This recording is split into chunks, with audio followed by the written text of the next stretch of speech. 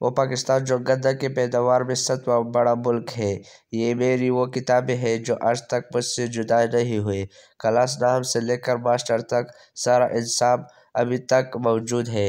लेकिन ज़िंदगी ने जो सबक दिया है वो इनमें से किसी किताब में नहीं। जो इन किताबों में पढ़ा, इससे कुछ भी मेरी ज़िंदगी में नहीं। न कायद के छोदा नकात, न अकबर बादशाह, न अलजबरा, न मिस्टर चिप्स न सतह मरतफ़ा पटोहार नाहिब व पाकिस्तान जो गंदम की पैदावार में सातवां खुद कफिल मुल्क है। मुझे पैसे कमाने का तरीका तो बताना या ना का बस फ़ोटो से जिसका अमल पढ़ते रहे। सारा दिन केमिस्ट्री के फार्मूले को रट लगवाते रहे, हालाँकि हर चीज़ बनी बनाई मिलती है।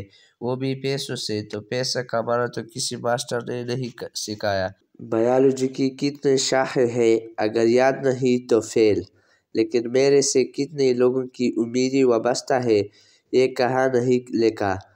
तमाम हेल्पिंग वर्क याद है मुझे, लेकिन हेल्पिंग वर्क कोई भी याद नहीं। मुझे माय फादर मजमून आज भी याद है, लेकिन फादर खुश कैसा रहता है, ये नहीं पता। मैंने पढ़ा है कि पाकिस्तान में नमक की अपने बड़े बड़े पहाड़ है, लेकिन मुझे अपने इस पहाड़ का एक छोटा सा पत्थर सौ रुपये में मिलता है। सोचने लगा कि अपने उस्ताद से पूछो कि आपने जो पढ़ाया वो सही था।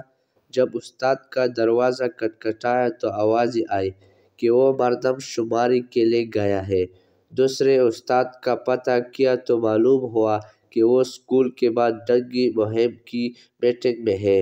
तीसरे उस्ताद की तरफ़ गया, वो पोलियो यानी मेरे उस्तादों को असल मकसद से हटाकर दूसरे काम में लगा दिया, फिर एक उस्ताद याद आया कि वो इस वक्त घर हो गए। उनके घर पहुँचा तो मालूम हुआ कि तीन घंटे हो गए, वो आटा लेने गए, वापस नहीं आए।